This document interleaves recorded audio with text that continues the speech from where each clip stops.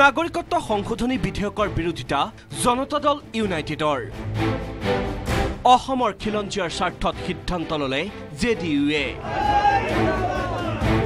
हमारी पार्टी ने in principle इस बिल का विरोध करने का तय किया है हम इसको आसामी और जो वहाँ की लिंग्विस्टिक माइनॉरिटीज़ हैं इस समय या जो मेजोरिटी भी हैं उनके हितों के खिलाफ मानते हैं।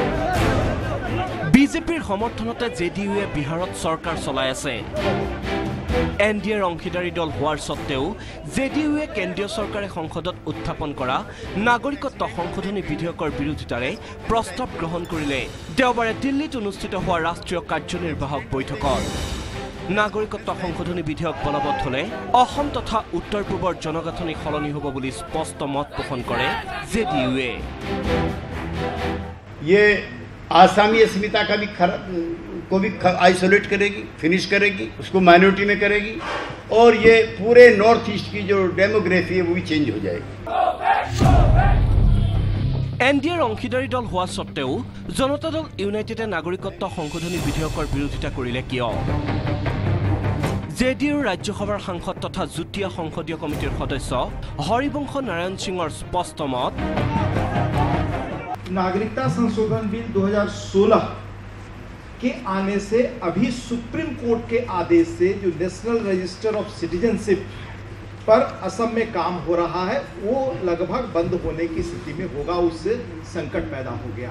अगर यह कानून आता है तो उसका क्रियान्वयन इससे गहराई से प्रभावित होगा, इसलिए वहाँ के लोगों की आपत्ति है कि यह कानून अगर बनेगा तो हमारी अस्मिता खतरे में पड़ेगी ही साथ साथ संवैधानिक संकट पैदा हो जाएगा।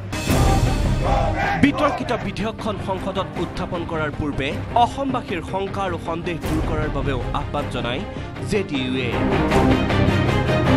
हमारी पार्टी उनसे अ, सहमति देते हुए इस बिल के बारे में हमने आग्रह किया है केंद्र सरकार से कि केंद्र सरकार द्वारा नागरिकता संशोधन बिल 2016 के संदर्भ में सभी विवादित मुद्दों पर गंभीरता से पहले वो विचार करे और असम के लोगों की आशंकाओं को दूर करे সোতৰ মেত সদৌ অসম ছাত্ৰ সন্থাৰ এটা প্ৰতিনিধি দলে বিহাৰৰ মুখ্যমন্ত্ৰী তথা জে ডি ইউৰ ৰাষ্ট্ৰীয় অধ্যক্ষ নীতিশ কুমাৰক সাক্ষাৎ কৰি সংসদত নাগৰিকত্ব সংশোধনী বিধেয়কৰ বিৰোধিতা কৰিবলৈ আহ্বান জনাইছিল। সদৌ অসম ছাত্ৰ সন্থাৰ আহ্বান মৰ্মে জে ডি ইউৰ নেতা নীতিশ কুমাৰে বিষয়টো কালিৰ দলৰ ৰাষ্ট্ৰীয় কাৰ্যনিৰ্বাহকত উত্থাপন কৰে। তাৰ আধাৰতে দলে প্ৰস্তাৱো গ্ৰহণ কৰে।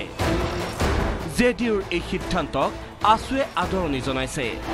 অসমৰ সকলো ৰাষ্ট্ৰীয় আৰু আঞ্চলিক দলকো নাগৰিকত্ব সংশোধনী বিধেয়কৰ বিৰুদ্ধে স্থিতি গ্ৰহণ কৰিবলৈ আহ্বান জনায় আছুৱে।